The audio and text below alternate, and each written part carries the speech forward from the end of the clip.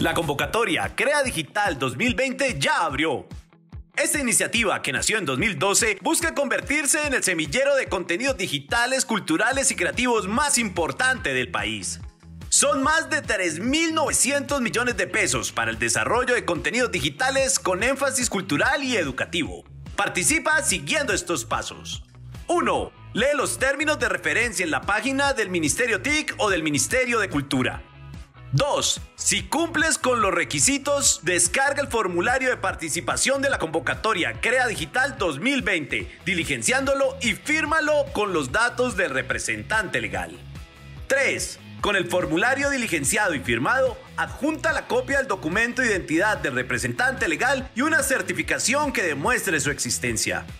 4. Luego debe revisar muy bien los demás documentos específicos de cada categoría y adjuntarlos. 5. Si ya subiste todos los documentos solicitados, puedes enviar la postulación de tu proyecto. 6. Regístrate con todos tus datos personales. Ten en cuenta que en el tipo de participante debes seleccionar persona jurídica. 7. Recuerda, la inscripción en línea estará habilitada solo hasta las 5 pm, hora colombiana, de la fecha de cierre de la convocatoria.